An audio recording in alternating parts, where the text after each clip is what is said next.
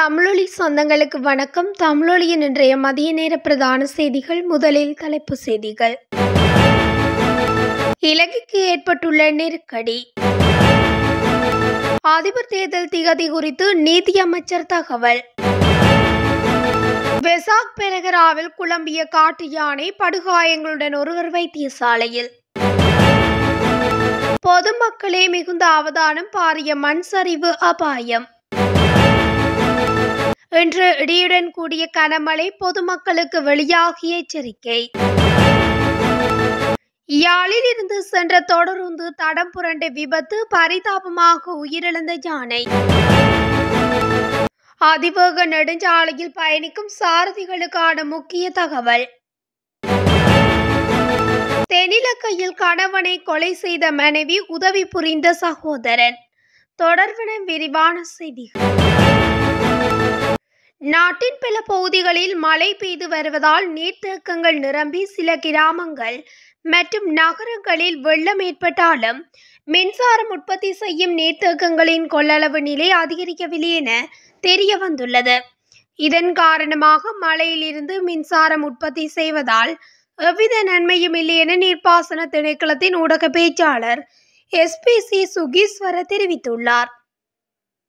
கழனி ஆற்று பள்ளத்தாக்கில் இந்த நாட்களில் அடைமழை பெய்து வருகின்ற போதிலும் கழனி ஆற்றின் மேல் பகுதியில் அமைந்துள்ள காசல் ட்ரீ மவுசாக்களை மற்றும் நாட்ரன் நாட்டன் ஃப்ரேஜ் நீர்த்தேக்கங்களின் நீர்க்கொள்ளளவு வெளியேற்றம் மட்டத்தை எட்டவில்லை மகாவலி நீர்த்தேக்கங்களின் விக்டோரியா ரந்தனிகல கொத்மலை மற்றும் மொரககந்த ஆகிய நீர்த்தேக்கங்களின் நீர்க்கொள்ளளவும் குறைவாகவே காணப்படுவதாக அவர் கூறினார்.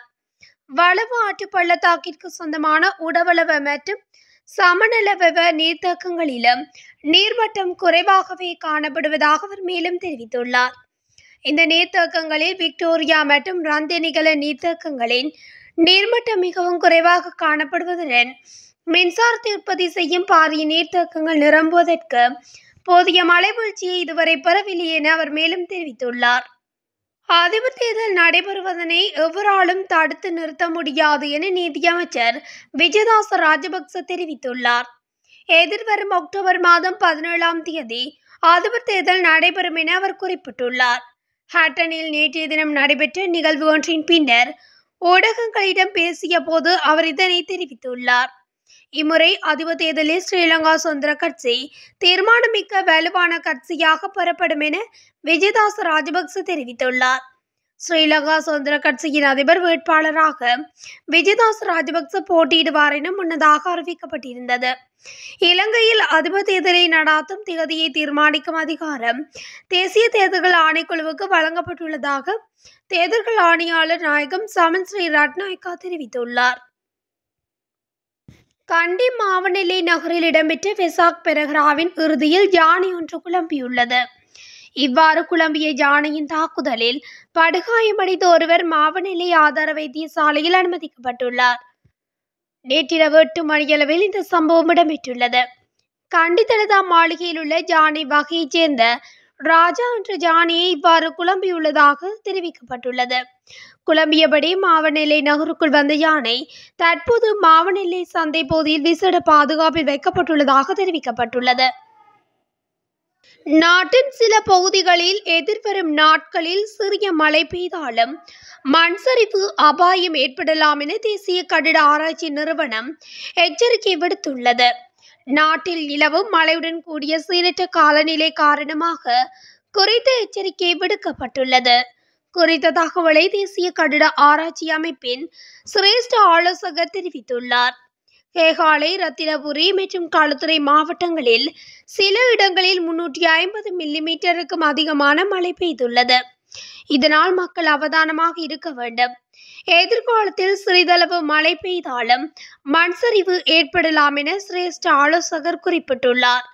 இந்நிலையில் நாடு முழுவதும் தென்மேல் பருவப்பயிற்சி நிலைமை படிப்படியாக அதிகரித்து வருகின்றமை காரணமாக தற்போது நிலவும் மழை நிலைமையும் காற்று நிலைமையும் தொடரும் எனவும் வளிமண்டலவியல் திணைக்களம் தெரிவித்துள்ளது.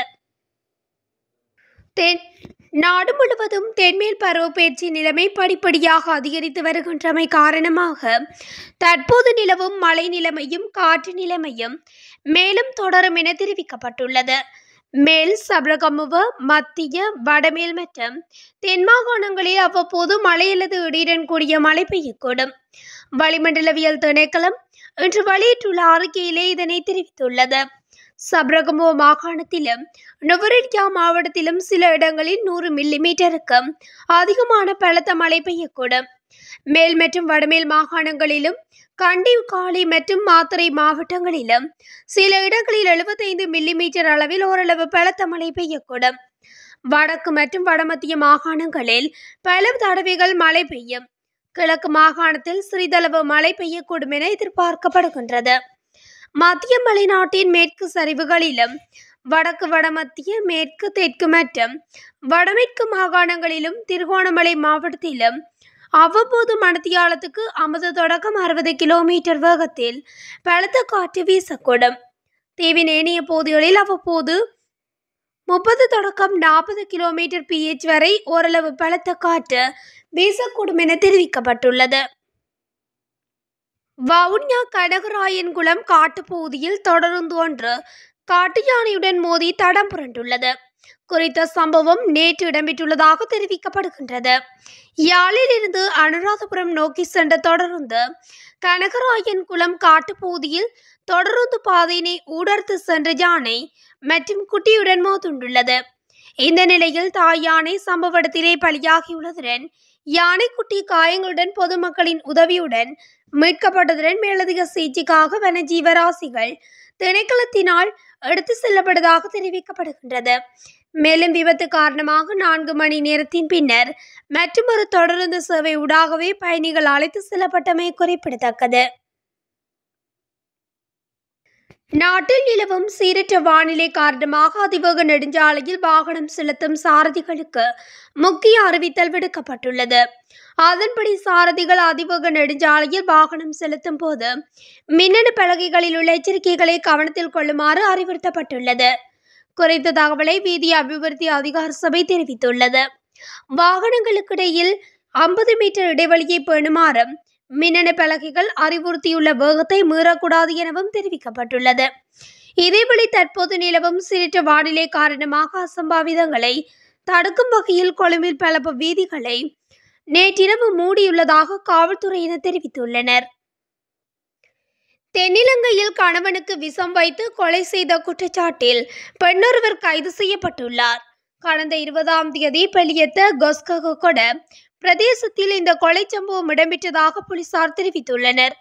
கொலையுடன் தொடர்புடையவர்கள் என்ற சந்தேகத்தில் உயிரிழந்த நபரின் நாற்பத்தைந்து வயது மனைவியும் அவரது சகோதரனும் இன்று கைது செய்யப்பட்டுள்ளனர். மூன்று பிள்ளைகளின் தாயான உயிரிழந்தவரின் மனைவிக்கு உதவினார் என்ற குற்றச்சாட்டின் கீழ் அவரது சகோதரன் கைது செய்யப்பட்டுள்ளார். தனது கணவரின் மது கோப்பையில் விச ரசாயனத்தை கலந்து கொலை செய்ததாக வெளியிட்ட போலீசார் தெரிவித்தனர்.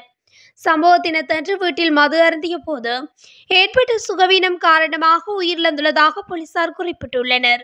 பிரேத பரிசோதனையில் விஷம் அருந்தி உயிரிழந்துள்ளதாக வைத்தியர்கள் அறிக்கையிட்டுள்ளனர் இத்துடன் தமிழொழியின் இன்றைய மதிய நேர பிரதான செய்திகள் நிறைவடைகின்றன. தொடர்ந்தும் செய்திகளை அறிந்து கொள்ள தமிழொலி ஊடகத்துடன் இணைத்திருங்கள் நன்றி.